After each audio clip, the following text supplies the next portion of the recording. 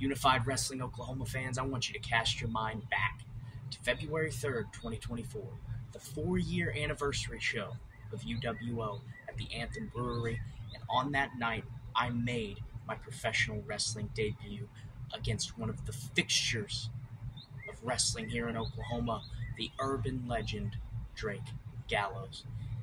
And on that night, with a little help from my friend Mr. Neighbors, I pinned Drake Gallows in the middle of that ring. And since then, I have hit the ground running, even becoming the inaugural UWO Dojo Division champion.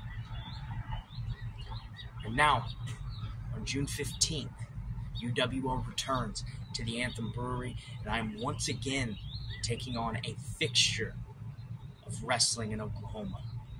Oklahoma Strangler himself, the RDW Iron Man champion, Christopher Morrison.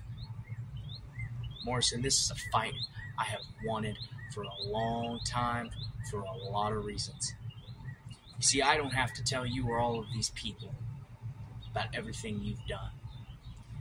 The long list of accolades and championships that you have amassed in a 14 year career. I'm going to tell you this for all those accolades, for all those championships, for all of those 14 years, you have never stepped foot in the ring with somebody like me. And I'm hungry. You see, I want that RDW Iron Man title.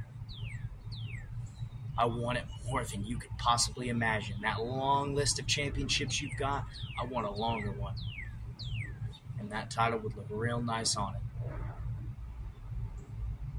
However, as much as I want that championship, I want to beat you just as much. So, unlike the others you faced, if I'm not able to beat you in that 10 minutes and you have successfully retained your title, I'm going to keep coming at you with everything I've got. Because I don't care how long it takes, Morrison, I'm going to beat you on June 15th.